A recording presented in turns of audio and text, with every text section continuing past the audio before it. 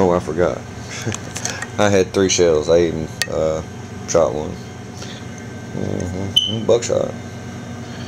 He's had it a while. Mm. Gonna do some dehydrating. Got two machines. Got another one on the other side. Gonna work over some apples. Yep. See, that's where I was gonna do the uh, eclipse. Yep. Mm-hmm. I was prepared. Trust me. All right, y'all enjoy. Peace.